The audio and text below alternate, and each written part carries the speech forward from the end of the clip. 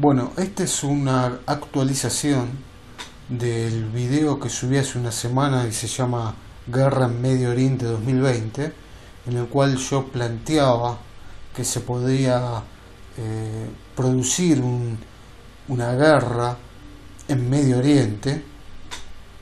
Eh, yo especulaba en ese video que esa guerra sería entre Israel e Irán, pero estarían involucrados otros países y eventualmente algunas potencias militares.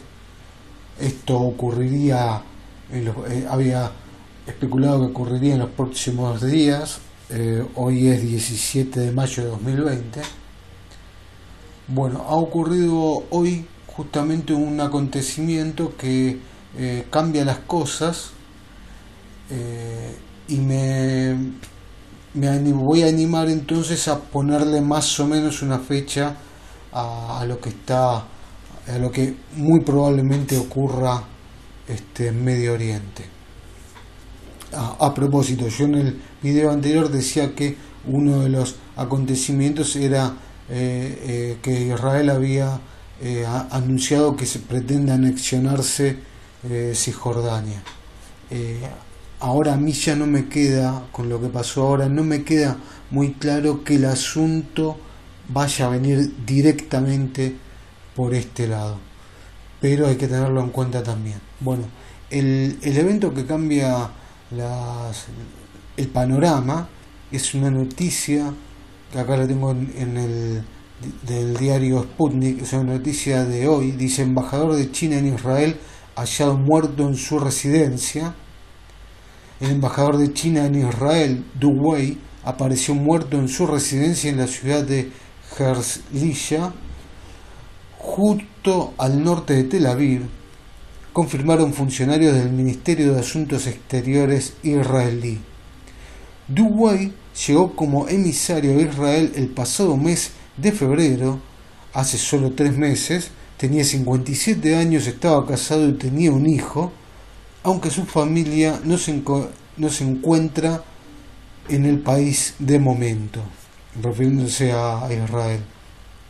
Y acá, este, al final, que esta es la parte interesante de esta nota, dice, las relaciones de China con Israel son complejas y en varios ámbitos son bastante estrechas, una circunstancia que Estados Unidos ha denunciado en varias ocasiones. Vos sabés que en Israel el, el puerto de Haifa, creo, este, eh, en ese puerto solamente pueden entrar barcos chinos, tanto mercantes como militares, pero los barcos estadounidenses no pueden entrar. Es decir, fíjate cómo, cómo es esto. Y como, como acá dice que Estados Unidos, bueno, está denunciando esta cooperación. Continúa el, artículo. Justamente esta semana, repito, hoy es 17 de mayo de este 2020, justamente esta semana el secretario de Estado Mike Pompeo realizó una visita relámpago a Israel en la que criticó veladamente al primer ministro Benjamín Netanyahu por su proximidad con China. Y ahora fíjate esto, Precisamente el viernes, el viernes que pasó, 15 de mayo, Duway publicó un artículo de, en la prensa hebrea elogiando las relaciones de China con Israel y criticando a Pompeo. Dos días después el tipo aparece muerto, que a todo esto los medios israelíes no están diciendo exactamente ¿Qué fue lo que pasó? Dicen que tuvo un paro cardíaco. Sí, todos nos morimos de un paro cardíaco. Te morís porque deja de latir el corazón. A mí me parece que este tipo lo encontraron suicidado de tres tiros en la espalda. Este, lo cual, si el tipo murió o lo, mataron de manera brutal, es un mensaje muy fuerte ese. Este, y este acontecimiento creo que está eh, cambia completamente las cosas. Es decir, a mí me parece que esto es un mensaje para Israel y para China, pero especialmente para Israel. Acá lo que está pasando es que Israel se está cortando solo. En vez de de ser el perrito faldero que siempre fue, ahora le están mordiendo la mano al que le da de comer. Este, así que eh, creo que por acá viene la mano. Y este, otras dos noticias que tienen mucho que ver. Una es lo que los juegos que está haciendo Arabia eh, Saudita. Este voy, voy a leerle el copete nada más. Dice Arabia Saudí hace una atrevida apuesta por unos precios altos del crudo. Si sus planes se hacen realidad, ciertos países de la Unión Europea, el Reino Unido y Canadá se convertirían en perdedores de la guerra de energía, opina Iván Danilov, columnista de la edición en ruso de Sputnik. Este es otro, otro punto, perdón, otro punto que cambia las cosas. Y finalmente, este, esta nota también de Sputnik sobre un ensayo, eh, este, una simulación por computadora, eh, donde aparentemente todo indicaría que si hubiese un enfrentamiento entre Estados Unidos y China a nivel naval, Estados Unidos perdería en todos los escenarios. Eh, Estados Unidos perdería una guerra contra China en el Pacífico y sería incapaz de defender Taiwán, advierten las fuentes del Pentágono citadas por el diario británico The Times. Según el Departamento de Defensa de Estados Unidos, la base militar de Guam ya está en peligro. Los conflictos simulados llevados a cabo por Estados Unidos concluyeron que sus fuerzas eh, se verían abrumadas en un conflicto naval contra China, bla, bla, bla, bla. Bueno, entonces, volviendo, ¿qué, qué es? Esto cambia completamente, esto acelera las cosas. Y por eso me animo yo a, este, a decir este, más o menos una fecha de cuándo podría ocurrir esto y más o menos cómo vendría el asunto.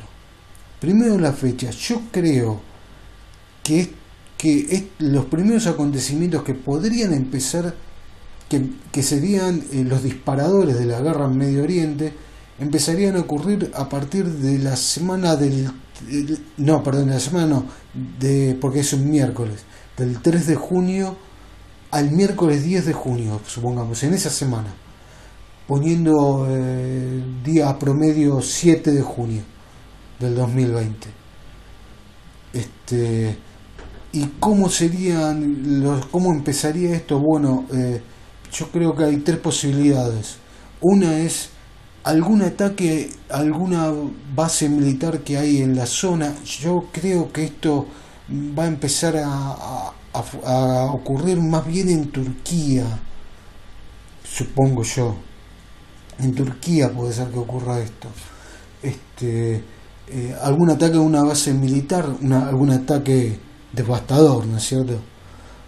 Este, o podría ser un atentado muy grave a algún eh, edificio público, como un edificio de gobierno o una mezquita o, algún lugar así. O el tercero, que es el que a mí más me, me parece que es más probablemente que ocurra, es que eh, ataquen o intenten asesinar o incluso asesinen algún, alguna personalidad muy importante.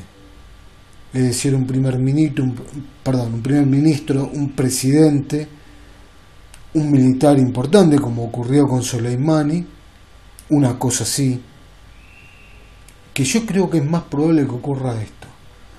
Eh, bueno, veremos qué pasa. Esto es lo que yo te quería contar.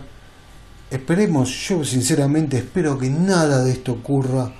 Lo que más quiero es que publique alguien, me ponga comentarios diciendo sos un trastornado, no tenés ni idea de nada, prefiero toda la vida que sea así y no que ocurra esta locura, porque esto puede desencadenar en, para cualquier lado. Bueno, era nada más que esto. Muchas gracias por ver este video y por compartirlo.